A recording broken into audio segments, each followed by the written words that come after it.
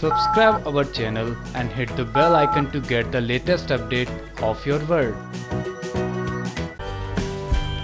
BJP नेता, actress और big Boss की एक्स कंटेस्टेंट सोनाली फोगाट का मंगलवार को गोवा में निधन हो गया पहले ऐसा कहा जा रहा था कि सोनाली की मौत हार्ट अटैक से हुई है, लेकिन गुरुवार को जब एक्ट्रेस की पोस्टमार्टम रिपोर्ट आई तो उसमें कुछ और ही आया। रिपोर्ट में बताया गया कि एक्ट्रेस के शरीर पर कुछ चोट के निशान थे।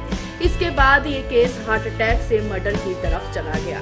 परिवार वालों ने दो के खिलाफ शिकायत भी दर्ज की है। उन्होंने सोनाली के पर्सनल असिस्टेंट सुधीर सांगवान और उनके दोस्त सुखविंदर के खिलाफ शिकायत दर्ज की है। अब इस बीच सोनाली की बेटी यशोधरा का वीडियो सामने आया है।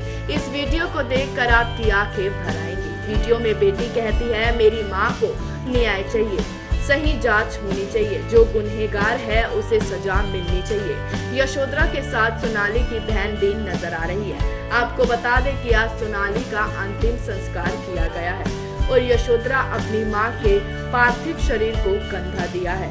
वह अपने आँसू नहीं रोक पा रही थी। सोनाली के पार्थिव शरीर को बीजेपी के झंडे से कवर किया गया है। सोनाली अपनी बेटी के काफ़ी करीब थी। वह सोशल मीडिया पर अक्सर बेटी के साथ वीडियो शेयर करती रहती थी, जिसमें माँ बेटी खूब मस्ती करते नज़र आते थे।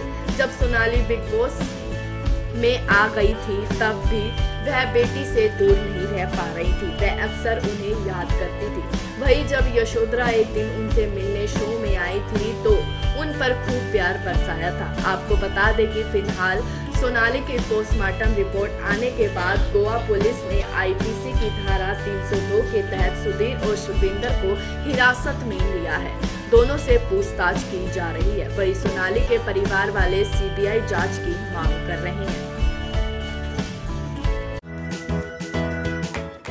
Subscribe our channel and hit the bell icon to get the latest update of your world.